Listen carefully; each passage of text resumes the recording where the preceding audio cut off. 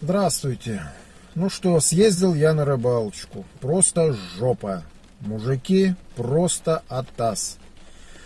Спасибо тебе, Володя, за такой закон. Блять, умный-умный закон. К речке подъехать нельзя, машину оставляй. Подъехал штраф. Спиннингом ловить нельзя, штраф.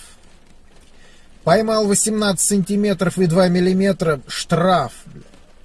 Эти шакалье рыщут, блядь, по всем озерам, по всем речкам, это рыбнадзорные. Какие же мерзкие рожи, блядь, что у них, что у мусоров. В натуре они прям вот, когда им дают власть штрафовать, это самые мерзкие рожи, как волки, блядь, как шакалы, знаешь, рыщут, кого бы охерашить. С детьми подъехать нельзя. Я уж не говорю про инвалидов. Как он туда подойдет? Ему как, блядь, за траву хвататься и ползти, что ли, блядь, к озеру, а?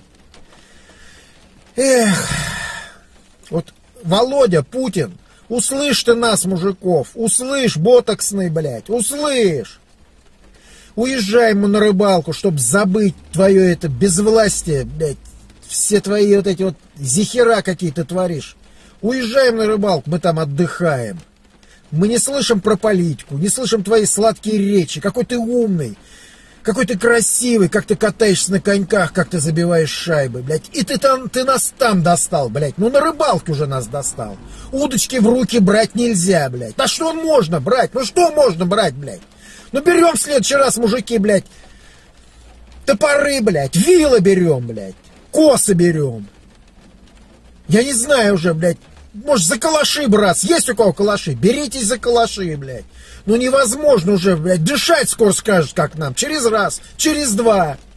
Володя, к тебе обращаюсь. Пересмотри законы, дай нам отдохнуть от тебя.